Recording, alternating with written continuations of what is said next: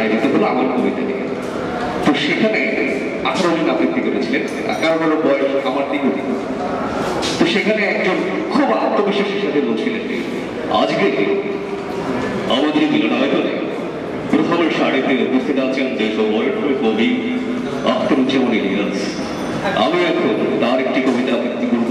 তিনি কবিতা আবৃত্তি এবং আবৃত্তি শিল্পীরা সাধারণত সুরে সুরে আবৃত্তি। আজকে আমরা বলি আজকে তারা বলে আজকে। তো আমরা বলি ধন্যবাদ তারা বলে ধন্যবাদ।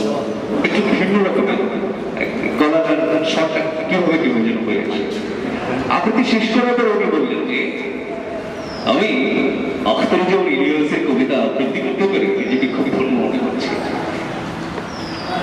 যখন আমার কবিতা শেয়ার দিয়েছেন তখন সঞ্জয় ধরে নিয়েছিল যে আমি ইলিয়াস অনেক সন্দেহবাদী সন্দেহ প্রকাশ করে যে আখতারুজ্জামান আজমকে আসলে আমার পিতৃপ্রদত্ত নাম নাকি আমার বানানো নাম আমার নাম যদি হতো মোহাম্মদ আজাদ মিয়া, আমি নিঃসন্দেহে রুদ্র আজাদ হয়ে যেতাম। অথবা অনিন্দ আজাদ, অথবা আদিত্য আজাদ, অথবা অনিরুদ্ধ আজাদ। এই ঢাকা শহরে আপনারা অনেক রুদ্র দেখবেন। এই যত রুদ্র দেখবেন, একশো জনের মধ্যে একশো দশ জনই হচ্ছে কনভার্ট রুদ্র জন্মসূত্রে খুবই কম, এই বললেই চলে। মোহাম্মদ শহীদুল্লাহ। আশি দশকের সবচেয়ে শক্তিমান কবি। ভাষা বিজ্ঞানী হচ্ছেন ডক্টর মোহাম্মদ শহীদুল্লাহ। তার নামের সাথে প্যাঁচ লেগে যায় বলে তিনি নামের আগে রুদ্র যোগ করেন আর এই সতেরো দশকের ছেলেমেয়েদের অবস্থা কি হলো? নাম যাই হোক না কেন নামের আগে রুদ্র শব্দটা থাকতেই হবে। তা আমার খুব সৌভাগ্য যে জন্মের পরে আমার বাবা মা আখতারুজ্জামান আজাদ নাম পেয়ে রেখেছিলেন আগে বা পেছনে আর কোনো শব্দ। এটাই ফেসবুকে একটা পোস্টে আমি দেখছিলাম ওনার ওই যে সব সার্টিফিকেট সহ সার্টিফিকেটের ছবি। আপলোড করেছি। যখন তেরো বছর আগে প্রথম আমি যখন আমার থেকে ঢাকায় গেলাম যখন কলেজে যখন প্রথম বর্ষে ভর্তি হলাম দু হাজার চার সালে, তখন রাজনৈতিক স্যাটার লেখা শুরু করল বিভিন্ন পত্র পত্রিকার সাথে যে ফান্ড ম্যাগাজিন দেয় না, বত্রিশ পৃষ্ঠার, ওগুলোতে রাজনৈতিক স্যাটার লেখা শুরু করল বিষয়টা এমন ছিল, প্রতি সপ্তাহে সুনির্দিষ্ট একটা দিনে তারা একটা ম্যাগাজিন বের করতো প্রথম আলোর সাথে কি ছিল সাথে ছিল আলপি। আমার দেশ পত্রিকার সাথে কি ছিল? কেউ কি জানেন এখানে? অনেক ছোট ছিলেন তারা বোধহয় তখন, চার পাঁচ সাল থেকে। আপনারা হয়তো ওয়ানে করতেন টুতে করতেন, কেউ চিনে করতেন এভাবে। আমার দেশের সাথে ছিল ভিডিও ইনকিলাব পত্রিকার সাথে ছিল সিগনাল। ওই ফান ম্যাগাজিনের নাম ছিল সিগনাল। খুব দুঃখের বিষয় যে প্রথম আলো পত্রিকা আছে, কিন্তু দুর্ভাগ্যক্রমে আলপিন এখন আর নেই। একটা কার্টুন ইস্যুতে বিলুপ্ত হয়ে গেছে ইনকিলাব পত্রিকা আছে, কিন্তু ইনকিলাব পত্রিকার সাথে সেই সিগনাল এখন আর দেওয়া। আমার দেশ পত্রিকার সাথে যে বিপ্লব ছিল, আমার দেশ পত্রিকায় নেই।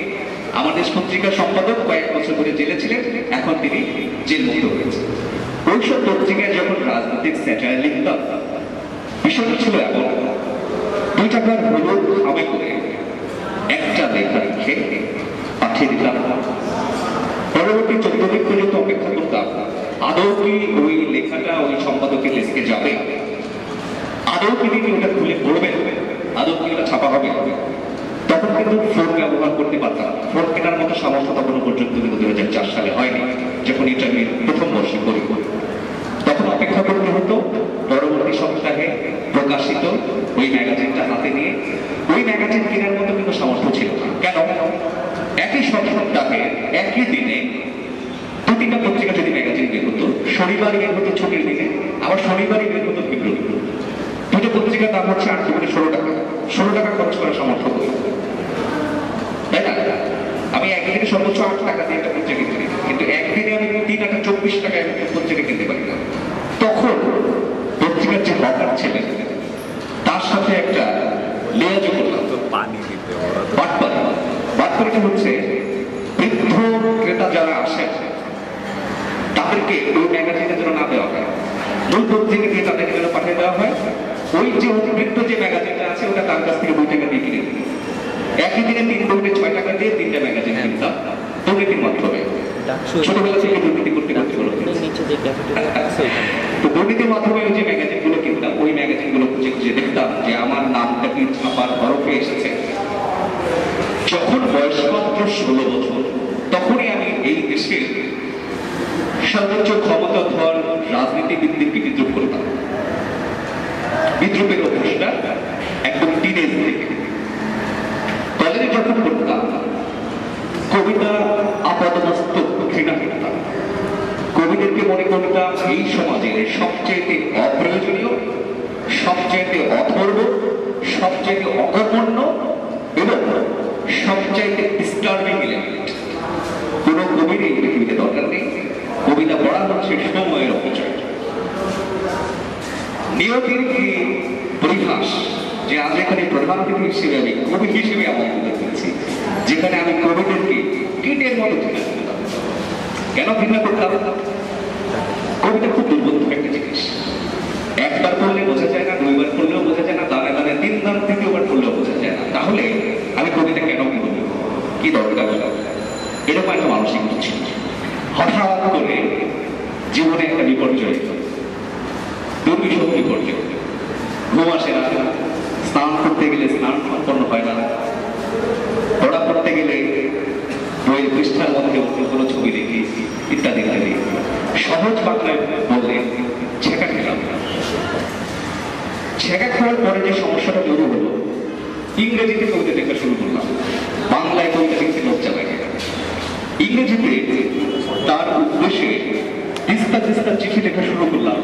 কিন্তু উপরে তরফ থেকে নির্দেশ আছে, তার ঠিকানায় কোনো চিঠি পাঠানো যাবে না। চিঠি পাঠাতে গেলে তার বিডিআর বাবা তাকে মারে বা অন্য কিছু তিরস্কার করবে। এখন বাবা শিক্ষক হলে একটা কথা ছিল। বাবা ব্যবসায়ী হলে একটা কথা ছিল। বাবা রাজনীতিবিদ হলে একটা কথা ছিল। বাবা হলো আমার বিডিআর বাংলাদেশ রাইফেলস নামের মধ্যে রাইফেলস বিডিআর বাবা, যার বাবা, তার ঠিকানায় অন্তত চিঠি পাঠানোর সাহস নেই। খুবই সৌভাগ্যক্রমে ওই বছরই বিডিআর বিদ্রোহ হলো সাতান্ন জন জওয়ান নিহত হলো। এরপরে আমার ভয়টা একটু কমলো যে বিডিআর বিডিআরও জীবনে সেখানে তাদেরকে মারা সম্ভব সত্যিকার অর্থে কথাটা খুব ফানি শোনালো। আমার ভিতরে একটা শক্তি ওদের আমি অর্জন করেছিলাম। যে manage mortar BDR is also mortar ততদিনে সম্পর্কটার সুতা পুরোপুরি আমার হাতের নাগালের বাইরে চলে গেছে। কোনোভাবে আর সম্ভব না। দু হাজার নয় সাল তখন আমার তৃতীয় বর্ষ ফাইনাল পরীক্ষা শুরু হবে হবে এরকম অবস্থা। খুব গাল ভরা একটা শব্দ আছে LLB honours third year final exam চলছে। পুরো বইটা হচ্ছে কুমারী। পুরো বই কখনো হাতে পড়ে কোনো দাগও পড়ে একদম কুমারী বই, পরে যখন শুরু করতাম, সারা বছরে জমানো পড়া সন্ধ্যা ছটা থেকে যখন শুরু করতাম, চোখের মাঝে জোনাকি দেখতাম সর্ষে ফুল দেখতাম, বিভিন্ন অগ্নিকাণ্ড অনেক কিছু দেখতাম, পড়া তো শেষ হয়। চিন্তা করলাম, সকাল আটটাতে পরীক্ষা, রাত্র বারোটার সময় পড়াশোনা করলে হবে। আমি কিছু কবিতা কবিতা শুরু করলাম থার্ড ইয়ার ফাইনাল পরীক্ষার মাঝামাঝি সময় আমি যে কবিতাগুলো লিখেছিলাম, সেই কবিতাগুলো এখনও পর্যন্ত আমার অদ্যাবধি রচিত কবিতাগুলোর মধ্যে শ্রেষ্ঠ। অর্থাৎ কেউ থার্ড ইয়ার ফাইনাল পরীক্ষা না দিয়ে কবিতা লিখতে থার্ড ইয়ার কে যেন জবাব সেকেন্ড ইয়ার সেকেন্ড ইয়ার আগামী বছর দুই ইয়ার ফাইনাল পরীক্ষা দিবা সারাদিন বড় কবি হয়ে যাবে ওই সময় রচিত কবিতাগুলো হচ্ছে আমার জীবনে রচিত সবচেয়ে র সবচেয়ে আদি এবং অচঞ্চল কোনো ভণ্ডামও ছিল না। সভ্য ছাকা খাওয়া একজন তরুণের হৃদপিণ্ডে কোনো ভণ্ডাম থাকে না। তিনি যখন আস্তে আস্তে বড় হন যখন তিনি আস্তে আস্তে প্রৌঢ় কিংবা বুড়ো হন, তখন তিনি মিথ্যে বলা শিখে যান।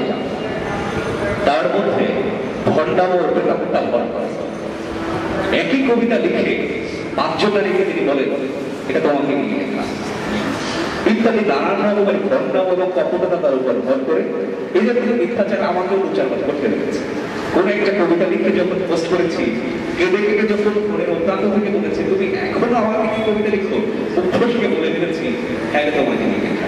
সে জানে এই কবিতা তাকে নিয়ে লেখা। আমি জানি এই কবিতা করে নিয়ে লেখা। অর্থাৎ বয়স যত বাড়ে ভণ্ডাম কপটতা আবস্কামিতা মরণাগ্রহীনতা মিথ্যাচার সবকিছু ক্রমশ বেশি বেশি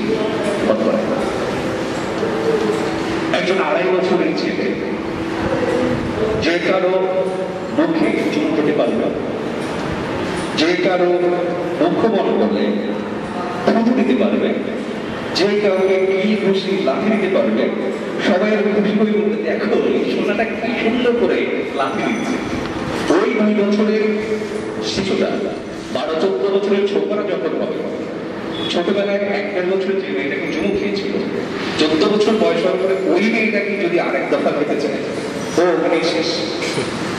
তাহলে কি হলো? বড় হওয়ার সাথে সাথে, বুড়ো হওয়ার সাথে সাথে আমাদের স্বাধীনতা কমে যাবে এই যে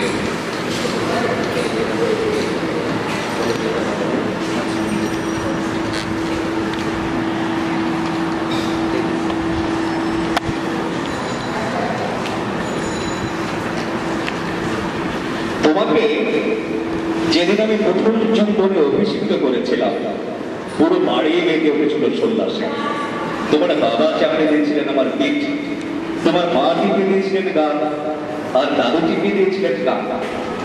আমার বাবা মা সবাইকে ডেকে সানন্দে বলেছিলেন, দেখো দেখো, আমাদের ছেলে কত বড় হয়েছে। সেদিন আড়াই বছরের আমি, দেড় বছরে তোমাকে চুমুকে বড় না হয়েও অনেক বড় হয়েছিলাম। কুড়িয়েছিলাম বহুদলীয় বাহবা পেয়েছিলাম বিরোচিত অভিনন্দন। কুড়ি বছর পরে আমি যখন সত্যি বড় হয়েছি চুম্বন যখন সময়ের দাবি, তখন চাইলেই আমি তোমার চৌকাশটি হতে পারি না। তোমাকে অভিষিক্ত করতে পারি না দ্বিতীয় চুম্বনে।